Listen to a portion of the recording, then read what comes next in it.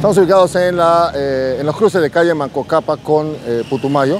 Vamos a ingresar al mercado La Norteñita de esta parte de la ciudad. Vemos que luce eh, color renovado. La han pintado recién los colores de esta gestión y vamos a hacer un rápido recorrido por este lugar.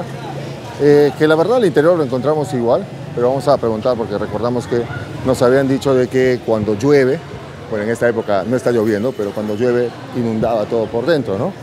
Pero bueno, vamos a, vamos a hacer ese recorrido. Fíjense, eh, por lo menos la pintura es nueva. No vemos ningún, eh, ninguna... Señor, una preguntita. Aparte de la pintura, ¿han hecho otros trabajos acá en el mercado? Ah, ¿Qué preguntan? Sí, han hecho, han puesto la electrificación a iluminar el mercado porque estaba en oscuras.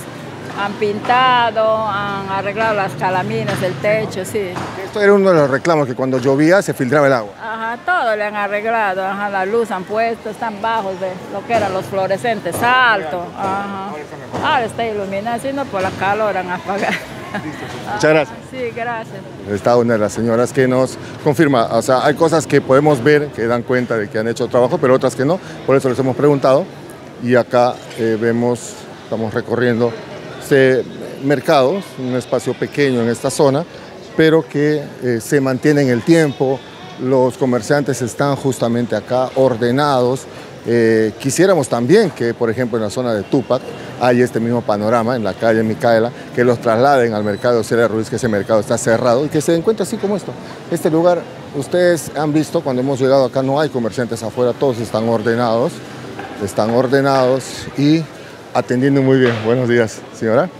Sí, acá este rápido recorrido por las instalaciones del mercado La Norteñita en los cruces de la calle Putumayo con Manco Cápac.